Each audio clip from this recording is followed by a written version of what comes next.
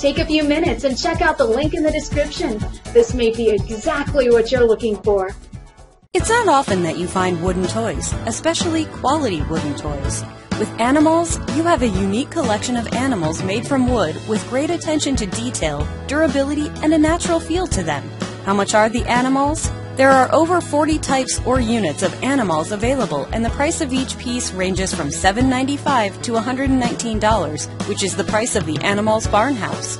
Now let's have a look at some of the main positive and negative aspects. Kids can also do their part in being environmentally responsible since the wood and materials used in Anamalz are highly sustainable. The wide range or selection of animals and accessories also adds more fun to the whole experience. Here's our conclusion.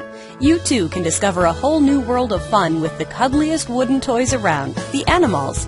Thanks for checking out our review. To know more about this product, click on the link below this video now.